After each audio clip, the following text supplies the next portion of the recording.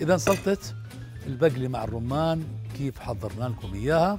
أول شيء قطعنا بصل جوانح وضعناها في إناء خلط السلطة وأضفنا عليها طبعا آه، السماق مع البصل. بعدين أضفنا ما تبقى من مكونات السلطة من بقلي وبندوره كرزيه ورمان. نخلطها منيح منيح وبنسوي دريسنج على جنب بنضيف شوية خردل ملح وفلفل وعصير ليمون وبننزل بالزيت بشكل خيط مع التحريك المستمر. حتصير عندي دريسنج سلطة فخمة ممكن تقدمها بأي مناسبة على الغداء على العشاء ممكن تكون حتى وجبة خفيفة تاخذوها وقت بدكم.